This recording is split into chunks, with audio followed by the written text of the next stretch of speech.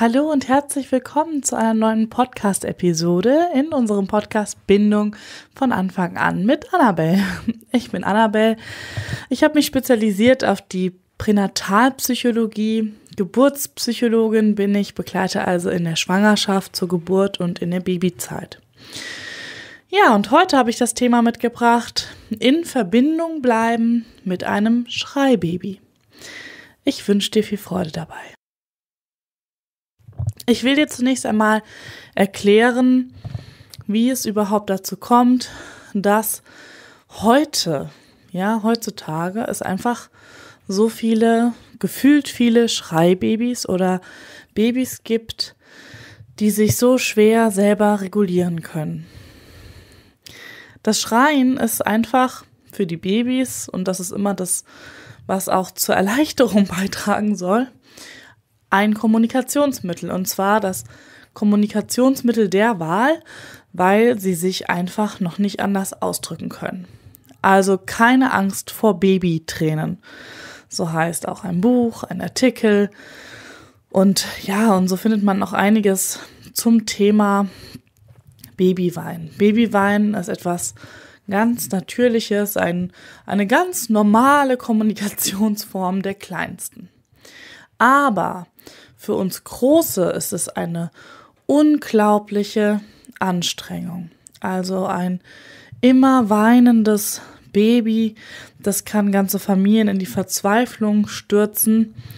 Und wir sehen ja auch daran, wie andere Menschen auf weinende Babys reagieren. Also sei es auch der Vater, sei es fremde Personen, helfende Personen, zum Beispiel auch die Therapeutin.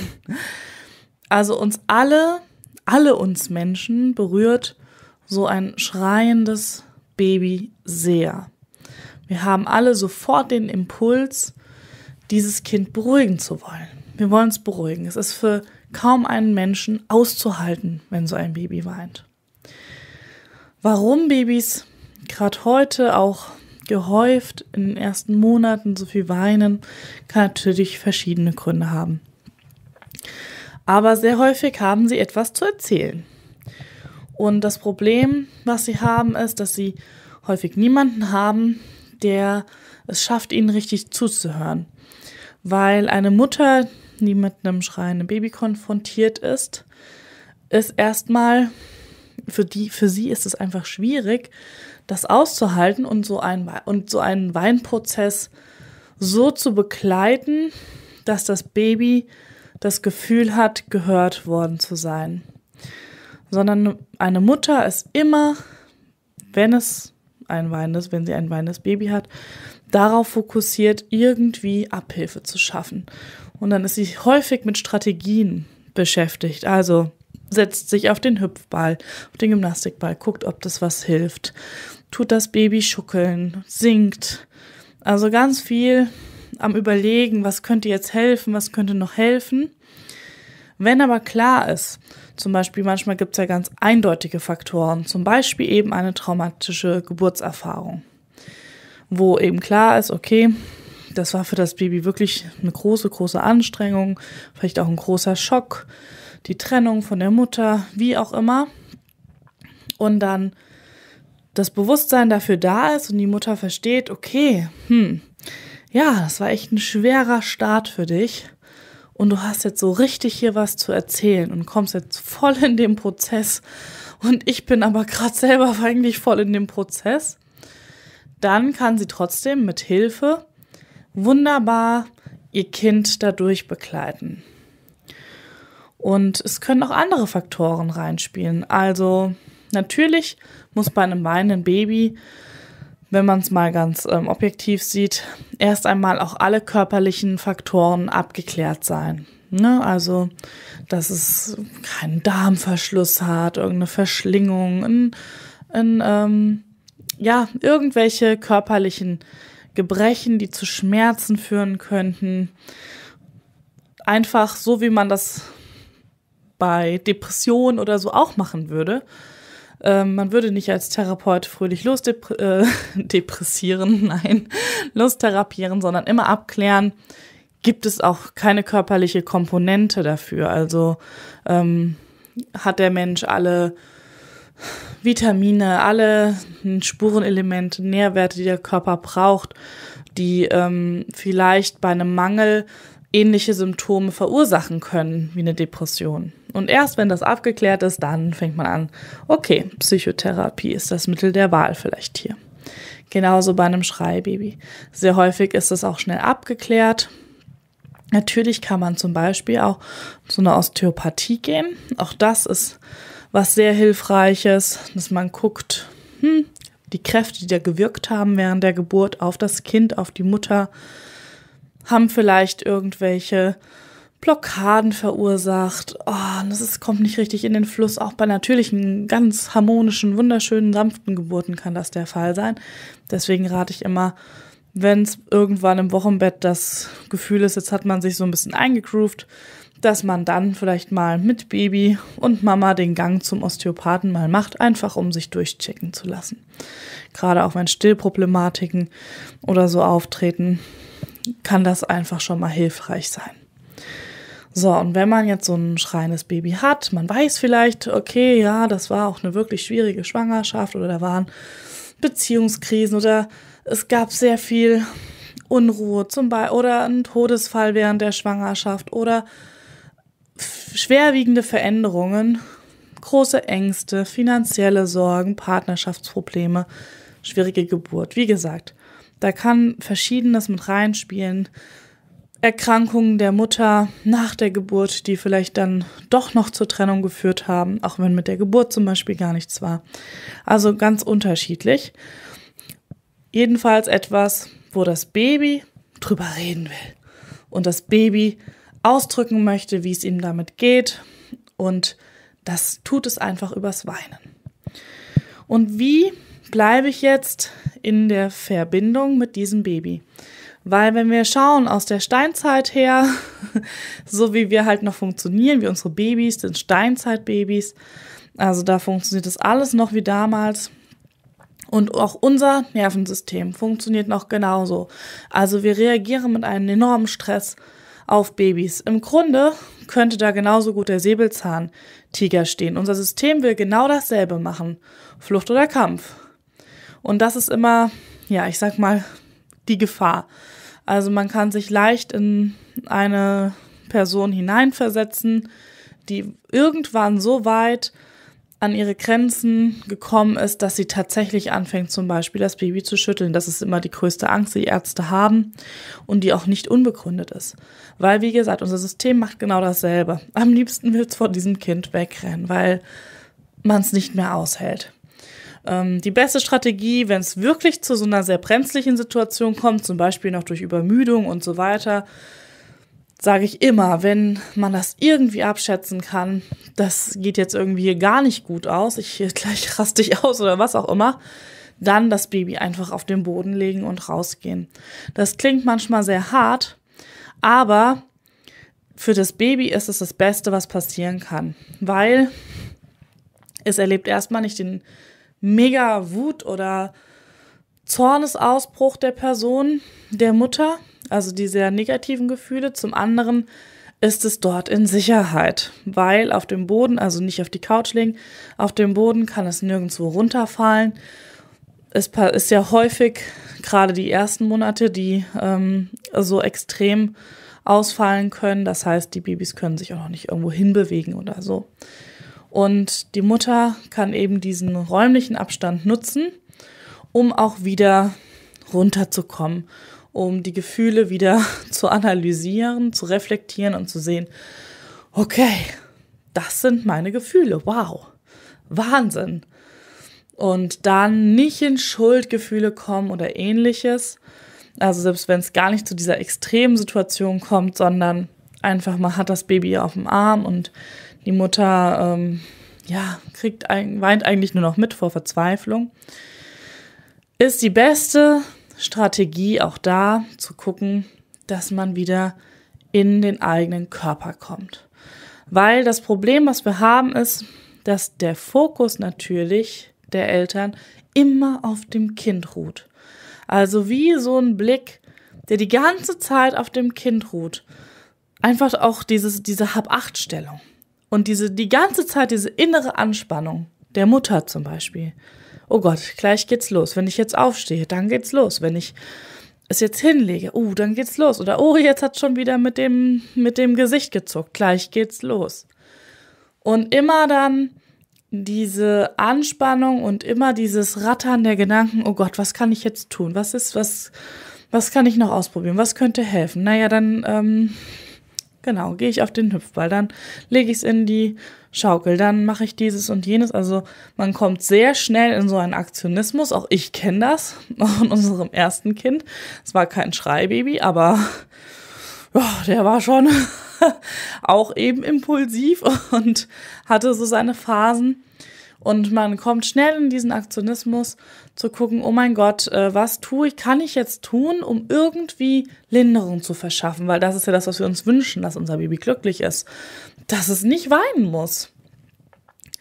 Und das ist häufig der, ja, nicht der Fehler, weil oft kann das auch hilfreich sein und mit den Strategien kommt man ja auch immer ein Stück weit durch. Aber es ist nicht das, was am Ende zur Auflösung führt weil wir völlig im Außen sind. Also wir verlassen im Grunde unseren Körper, uns selbst. Wir sind nur noch außen, außen, außen. Und was versucht das Baby im Grunde? Es versucht die ganze Zeit andocken, andocken, andocken, aber da ist niemand, weil die ist ja ständig im Außen, am Rotieren, völlig im Stress, völlig fix und fertig. Und das Baby denkt, oh mein Gott, es ist wirklich so schlimm, wie ich mir gedacht habe. Also dieses in Verbindung bleiben mit einem Schreibaby funktioniert nur darüber, dass ich zurück in meinen Körper komme und in die Selbstanbindung. Darüber habe ich auch schon öfter hier erzählt, wie wichtig Selbstanbindung ist, um in Verbindung zu kommen, überhaupt mit anderen Menschen. Also auch wenn wir so durchs Leben laufen, immer im Stress, immer im Außen, dann fällt uns natürlich echte Verbindung schwer, weil wir sind offline im Grunde. Und um online zu sein, müssen wir wieder zurück zu uns. Also, was ist, was hilft meinem Kind wirklich in so einem Moment? Wenn ich einen Schritt zurückgehe und gucke, wie es mir jetzt eigentlich geht und was ich jetzt eigentlich fühle und was ich jetzt eigentlich brauche. Und das allerwichtigste Tool, was wir da haben, ist eben die Atmung. Also wenn ich so ein richtig schreiendes Kind auf dem Arm habe, was wirklich für keinen von uns auszuhalten ist, und darauf kann ich gleich nochmal eingehen, warum das überhaupt so ist, dass ich dann gucke, okay, wie atme ich eigentlich gerade? Atme ich überhaupt noch? Weil ganz häufig halten wir die Luft an in diesen Situationen. Ihr könnt das mal ausprobieren, auch wenn ihr fremde Babys weinen hört. Es ist so. Und dann guckt man, wo weint's, wo weint's und dann, oh, da ist eine Mutter, die kümmert sich. Puh, Gott sei Dank. Ne? Also, und Luft anhalten ist natürlich nicht gut, ja, weil Atem ist Leben und wir ähm, schneiden uns in dem Moment völlig selber ab. Also erstmal beobachten, ne? Wie atme ich? Weil das erstmal zu erkennen ist der erste Schritt, um überhaupt was zu verändern. Aha, so atme ich oder oh, ich atme nicht, also oh, erstmal atmen. Und dann ganz bewusst sagen, okay, und jetzt bleibe ich bei mir, in meinem Körper, mein Baby darf weinen. Wein du, wein, lass alles raus, lass es raus. Erzähl. Und ich atme. Ich atme einfach. Ich bin einfach nur bei mir. Und du machst mal, was du willst. Ich, ich bin bei mir. Und wenn man das eben schafft, das Baby dabei zu halten, ja, man kann ja auch durchaus durch den Raum schlendern, langsam gehen. Vielleicht hilft es sogar, das ist eine der Strategien, sich ganz bewusst, bewusstes Gehen, also auf die Schritte zu konzentrieren. Ah, wie fühlt sich das an, wenn ich mein, meine Ferse über den Boden abrolle und wie fühlt sich überhaupt mein Boden an? Also zack, Schuhe aus, wegschmeißen, Socken runter und dann bewusstes Gehen machen. Ähm, auch was hilfreich ist, ist sich Hindernisse hinzulegen, wenn man durch den Raum schlendert, dass man wirklich ganz bei sich ist. Aha, jetzt gehe ich da lang und das fühlt sich so und so an und ah, mein Atem ist so und so.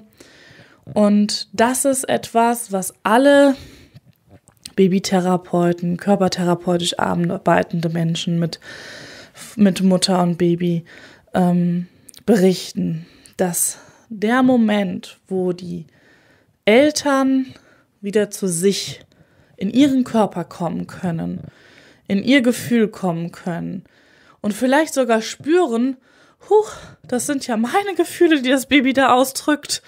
Ha, sowas. Kinder als Spiegel hat man zwar schon häufig gehört, aber noch nie erlebt.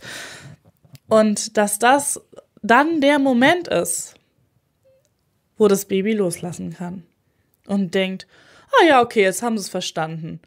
Und dann hört vielleicht das Baby auf zu weinen und schläft ein und ist völlig entspannt und die Mama sitzt da und denkt, oh, ja, jetzt muss ich aber weinen. Oder so, ne? Also, das sind ganz, ganz faszinierende Momente und ja, dieses Baby weinen, warum das jeden von uns so sehr trifft, gibt es ja durchaus diese Theorie, dass einfach jeder von uns ja dieses innere Kind, habt ihr vielleicht schon mal gehört, innere Kindarbeit, seinem inneren Kind Gehör verschaffen, da immer wieder hinzufühlen. Jeder hat ja in irgendeiner Form ja seine Geschichte, seinen roten Lebensfaden und da war nicht immer alles perfekt. Ne? Auch wir haben auch Bedürfnisse, die nicht erfüllt wurden. Wut, Aggression, die in uns noch stecken.